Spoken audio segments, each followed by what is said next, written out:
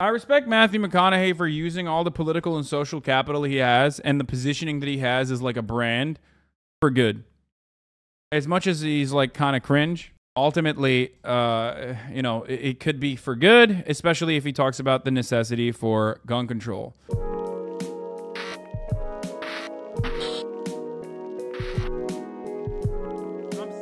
All right, here's Matthew McConaughey. All right, all right, all right. Talking about guns and gun control. secure and safe schools, and we want gun laws that won't make it so easy for the bad I guys pee. to I'll get be these back in a damn guns.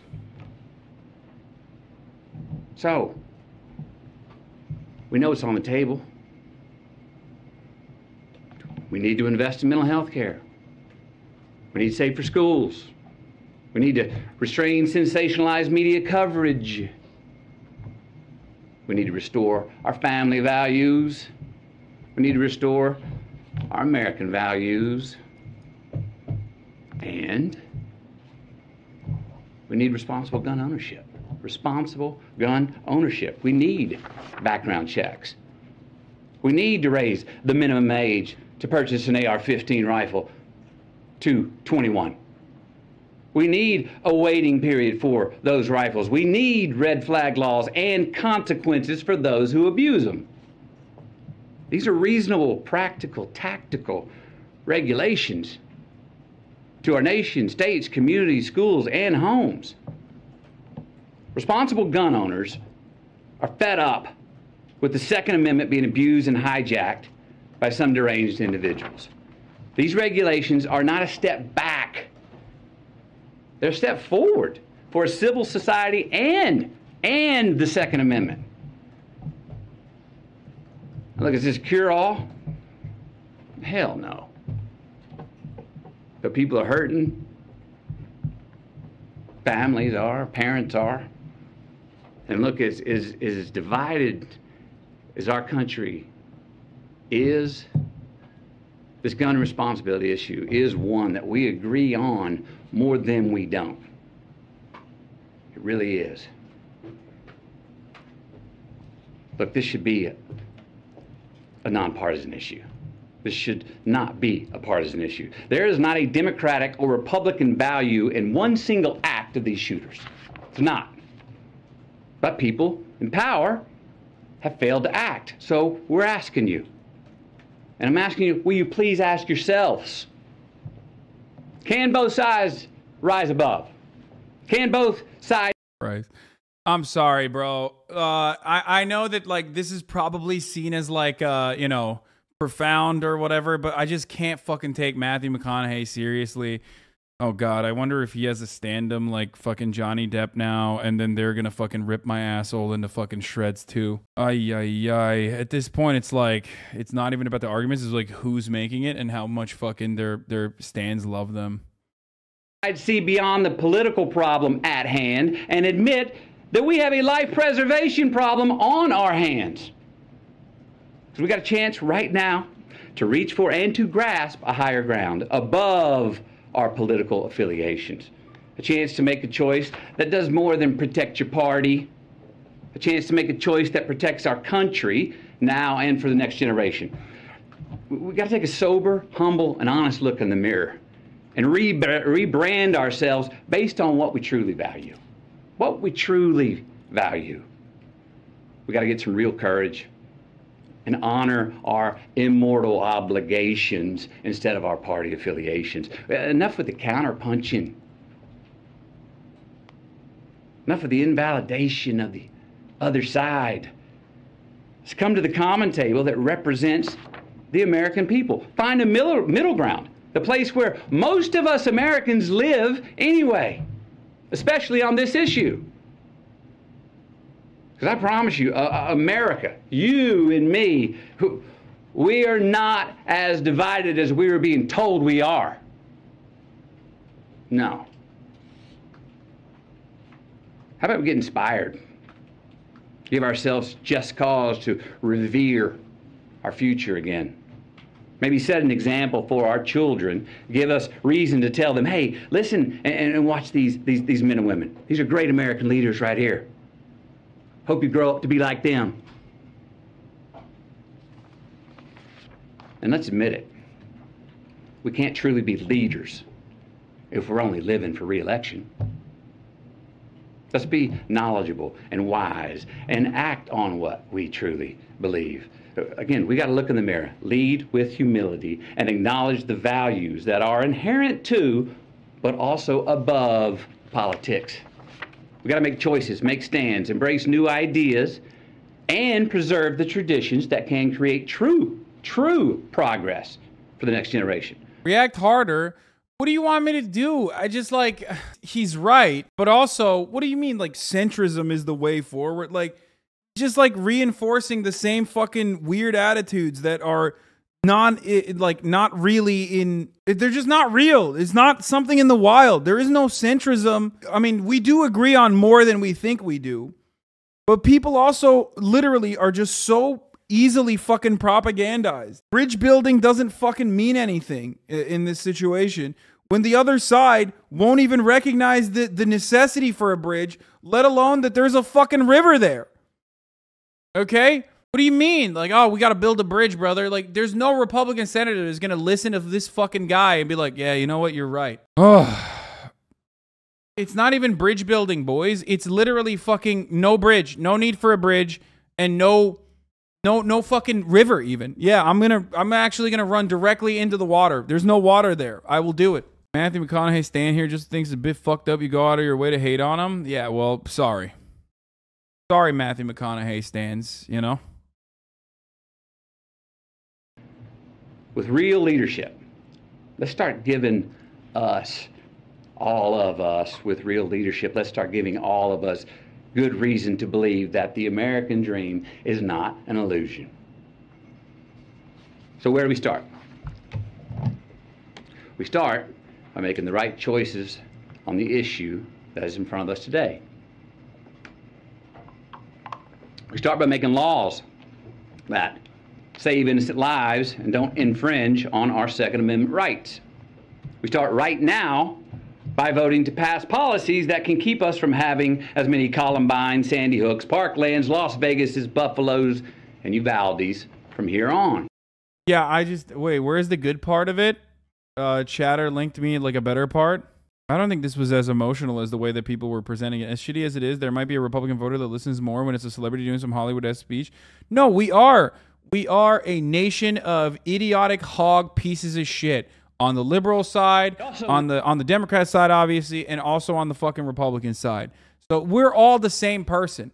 We are all gigantic, mouth breathing, uh, neck bearded hog pieces of shit. Ultimately, so yes, uh, this kind of, of speech could potentially move the needle. It could, in the minds of uh, some of these idiotic baboons. However, you also have to remember that like uh, it's not. They're gonna forget about it the moment that like a new thing happens. The moment that like the NRA tells you that like uh, you know uh, Brandon is coming to take your guns and like kill your children with a trans uh, death squad at your doorstep, and then they're gonna be like, "Oh my God, you can't take my guns away." They're gonna forget all about Matthew McConaughey and his fucking beautiful speech. You know, just like you forget about the top of the hour ad break.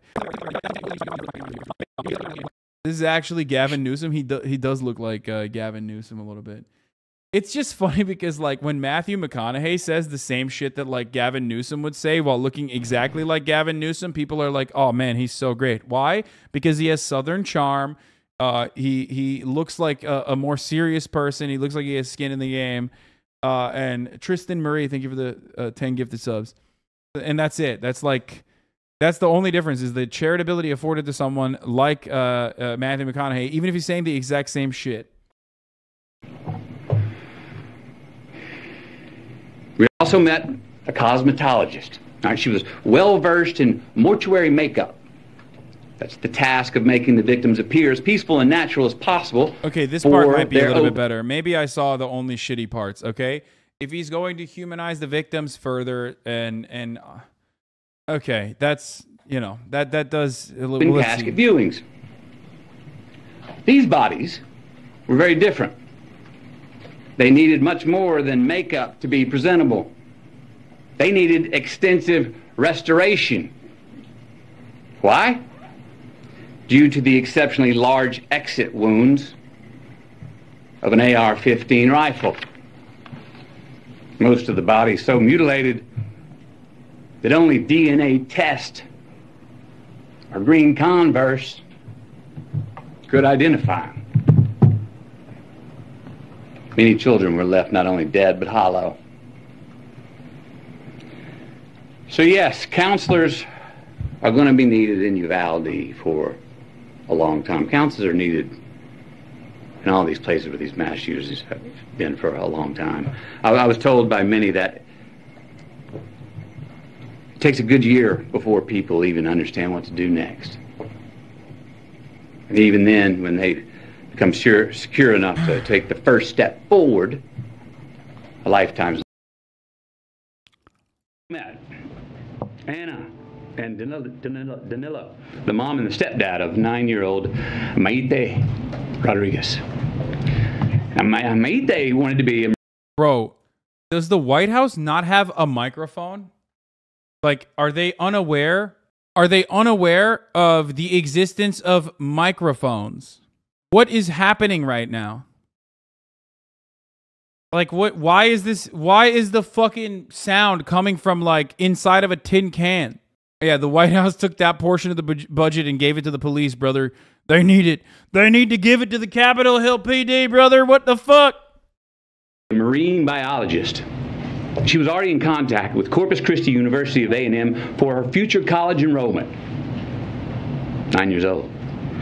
Maite cared for the environment so strongly that when the city asked her mother if they could release some balloons into the sky, Be very clear. That means they were shot in the face and were unrecognizable. If they'd been shot anywhere else, the parents would have been able to identify them by face. It's obvious to some, but I wanted to point it out. Their faces were unrecognizable. They didn't have faces anymore. Yes, dude. Yeah. That's what he's saying. Jesus Christ. Yeah. Th- This is what I mean. That's what the five five six does. That's what an AR. That's what an AR fifteen does to you if you get fucking shot in the face. I, in her memory, her mom said, "Oh no, Maite wouldn't want to litter." Maite wore green high-top Converse with a heart she had hand-drawn on the right toe because they represented her love of nature. Camila's got these shoes. Can you show these shoes, please? Wore these every day. Green Converse with a heart on the right toe. These are the same green Converse on her feet that turned out to be the only clear evidence that could identify her after the shooting. How about that? shit? Hmm. Maite wrote a letter. Jesus Christ. Her mom said if Maite's letter could help Okay, this part is actually a lot. I mean, like I said, th- this part is significantly better than the the other shit. That it's still like odd because it's you know it's Matthew McConaughey. You know, it, it might it might have some some moving power, or maybe people will look at this and go, "Fuck you, you're a celebrity. You went uh you went Hollywood on us." I don't fucking know. I, I just I don't I don't think that like I, I have no. I just don't have a lot of faith in in America. You know what I mean? And in American society. It's from Uvalde. No, I, I get it, dude. I understand, but it, it still doesn't fucking matter. Dude, I fuck. Like part of this needs to be tackled at the at, at the ground level too.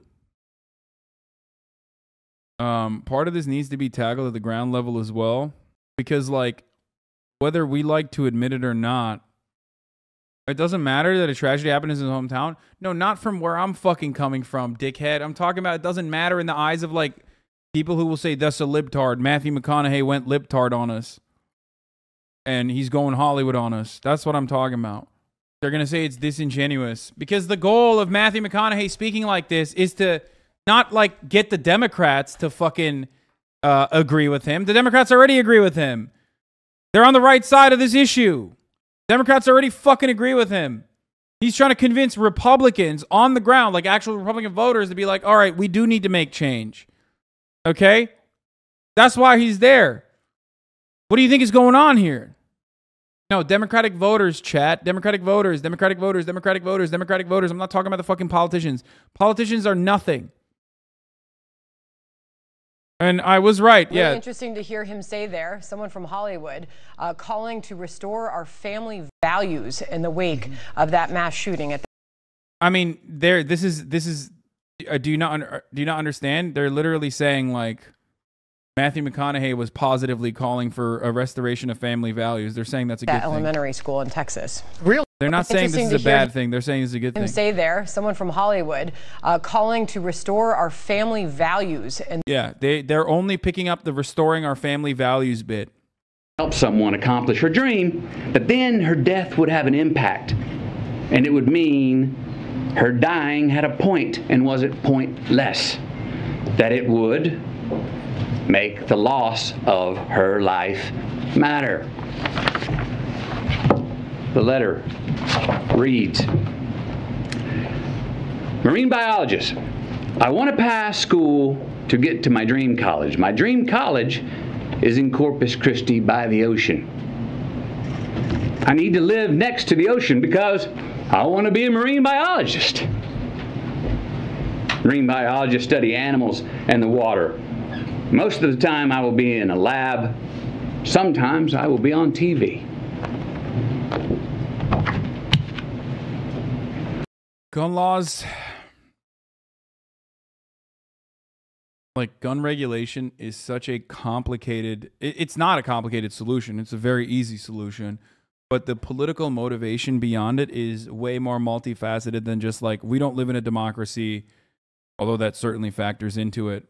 Uh, and that's the reason why we can't have any uh, uh, gun control. Americans are so easily propagandized. Like American voters specifically are so fucking easily propagandized that like the reason why I'm mentioning this is because like what Matthew McConaughey's doing is great and going on Fox News apparently he's going on Bret Baier's show. That's wonderful. Talking about family values, sure. Talk about family values too, but if that's the only message that the Republicans get out of that, that's not going to be great. Family values should only be mentioned as a as a you know softening lube before you put the dick in, and the dick being gun control.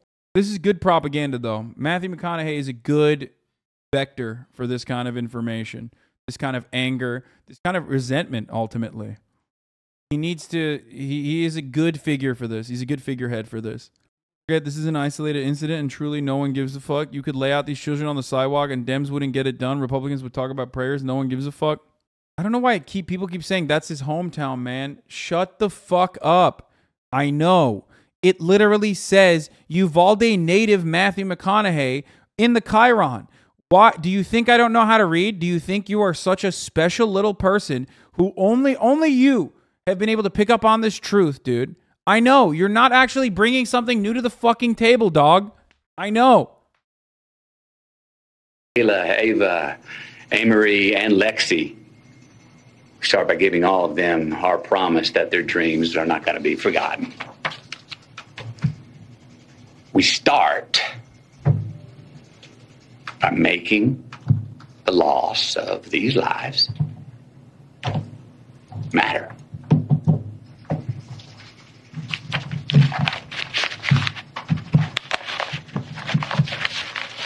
I respect Matthew McConaughey for using all the political and social capital he has and the positioning that he has as like a brand for good. As much as he's like kind of cringe and as much as he's like talking about like centrism in many ways, ultimately, uh, you know, it, it could be for good, especially if he talks about the necessity for gun control. The necessity for gun control should be the main reason why he's having these conversations to begin with. Like, there's no necessity for fucking family values control. You know what I mean?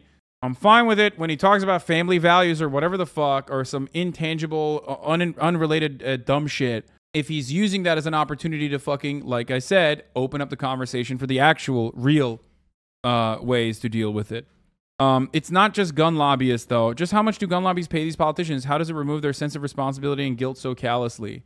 It's not just the gun control, or it's not just gun lobbyists, okay? The NRA's most successful purpose is not necessarily to uh, line up the pockets of politicians.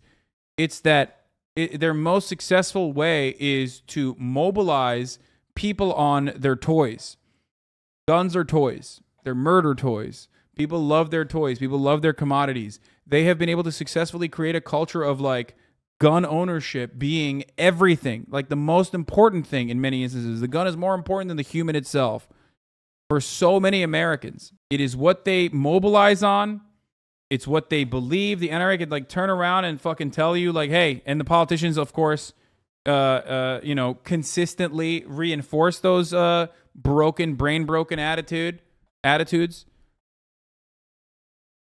The NRA works at the behest of the gun manufacturers, and the gun manufacturers and the NRA simultaneously have been able to create a gun culture in America that dictates, especially because commodity fetishism is all we have, and our commodity purchases are our you know cultural signifiers. We get a sense of shared perspective, a sense of community from things that we purchase, things that we consume, like the Marvel Cinematic Universe or guns, no different, right? And gun solidarity is really, really, really important for like 50% of the country. Probably more important than, uh, probably more important than like your political allegiances, straight up. So the NRA itself is one institution that needs to be destroyed, certainly, uh, in order for progress to happen.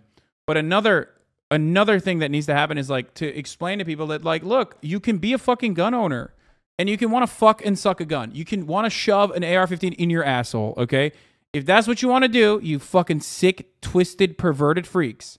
If that's what you want to do, that's fine. Okay, but you need to get uh, licenses. You need to get a license for it. You need to advocate for licenses for it. Okay, that's it. I love guns. I love shooting guns. I'm not at the level where I like, you know, have tailored my entire personality around, uh, uh you know, shooting guns like many of these fucking weirdos have, right? I'm not a fucking gun pervert. I don't want to suck and fuck a gun.